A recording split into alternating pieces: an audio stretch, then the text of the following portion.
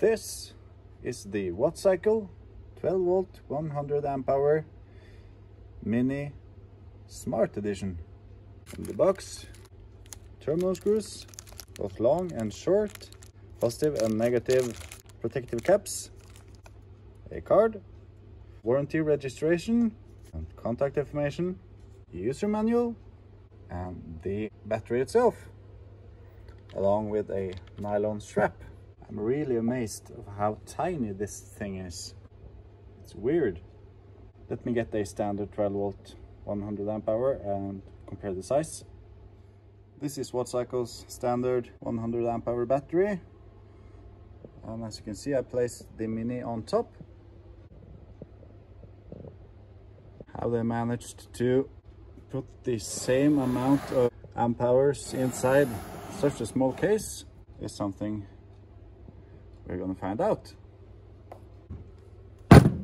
Looking at the casing, you can see there is a Bluetooth Smart Edition. We're gonna connect to the Bluetooth later in the video to check it out. We got some plugs covering some screws, which is nice. I really like this. It gives me the ability to open the casing. It basically makes this battery serviceable, which is a big plus in my opinion. Before we do anything else, I already charged it up to 100%. We're gonna do a capacity test, see if it holds 100 amp hours of capacity. Right, so I added some terminal screws. Capacity tester right here, zero it out, like that. Positive. We're gonna do a 10 amp test, like that. We're gonna let it run and see how many amp hours we get. Hopefully 100 amp hours. So after 10 hours and 11 minutes, the test is completed and we landed on 102.71 amp hours, which is a pass. Can't believe they are able to put that much capacity into such a tiny little thing. I can't wait to open it up and take a look inside. This should be fun. All right, taking a quick look at the Wattcycle Bluetooth app. You can toggle between charging and discharging easily. Monitor your battery. You can take a look at the each individual cell in your battery. No problem. There's a lot of nice little features. Um, it's definitely worth it. Remove the plugs. I'm going to remove the screws and we'll open it up take a look inside. unscrewed the screws and already we can tell that it is a snug fit inside of this casing. See the BMS on top right there. Let's see if I can get the battery pack out of the enclosure. So there we go. Got it out. 8 gauge wiring going to the negative and 6 gauge on the positive. Four cells in series. Welded nickel strips on the terminals and soldered balance leads to each strip. Looks good. Temperature sensor glued to the top of the cells. It's nice. XD ZN BMS, decent sized heatsink on the top. This is the Bluetooth module. Yeah, it looks good. Now let's run some test. We'll test the high temp protection and the low temp protection. And we're also going to do a quick test of the BMS output Alright, so I've connected the DC power supply, put a small charge on the battery, we're charging at 2 amps. We are going to first test the high temperature protection with a heat gun.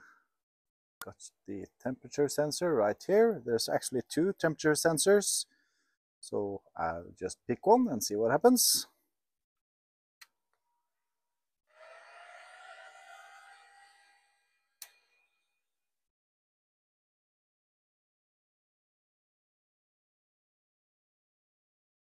There we go.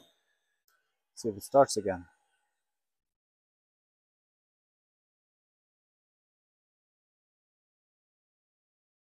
And we're charging again.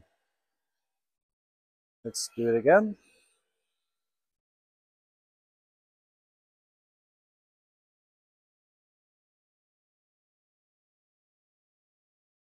And it shut off. So the high temp protection is working. That's nice. Let's test the low temp protection. Got some frozen salt water right here. Drill the hole in the ice, put the probe in, see what happens.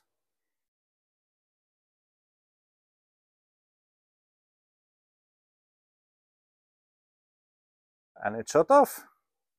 The low temperature is working. Let's heat it up and try it one more time. Charging.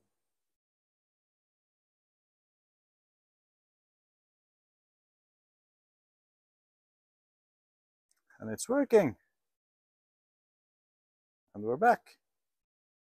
Temperature probe back in its place. It's glued and taped to the top of the cell. There we go. Let's hook up an inverter if there's any issues. So I've connected an inverter to the battery. Got this clamp meter can see how much we're drawing and I will be using the heat gun to do the load testing. All right. Turn it on.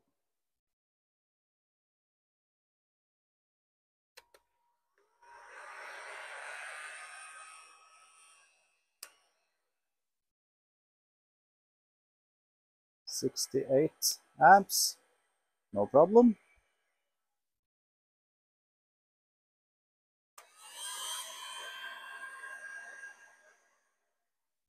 140 amps draw at the moment.